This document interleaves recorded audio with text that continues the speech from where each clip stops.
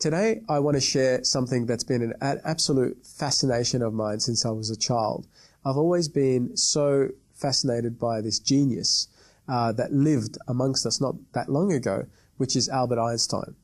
If you're aware of him or you've heard some of his stories and, and some of his breakthroughs, uh, you'd know that he was a living legend at the time and the things that he came up with were absolutely uh, gold. In fact, I don't think there's been a living genius since that's done as much amazing things as he has with the breakthroughs that he's been able to discover, like the um, equations and the um, you know the relationship between time and space, uh, and and some of the other things that he's come up with, you know, explanations of gravity, all sorts of great things. Now, what I mean, who knows? Maybe there are living uh, legends um, that are doing some scientific breakthroughs now that we'll hear about later, um, which is what quite often happens. It's it's kind of like hindsight um, is is the rule. But what I wanted to share was I, I recently looked at his life story in great detail, and I realized that although he was a, a genius uh, for his time, and um, and even in in nowadays he's still a genius by by all measures. He had struggles. He was no different to you and I in terms of the day to day struggles that he had. He was a father, he was a husband, and in many ways, when you look at his life story, those areas of his life were just as challenging as being a father today or a husband today.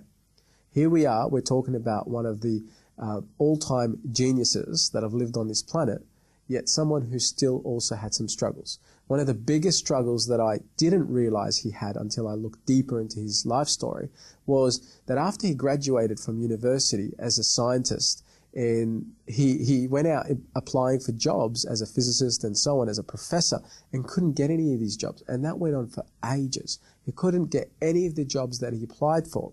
In fact, even his father was applying and writing up job letters to get him employment.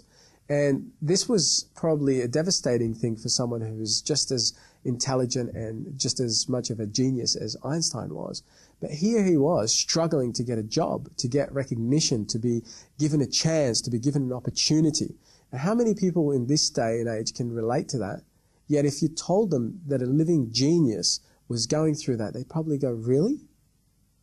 I would have thought he would have had it easier than that. Well, at least that was my thoughts. And so that was quite humbling to see that.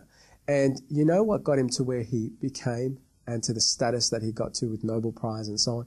It was persistence.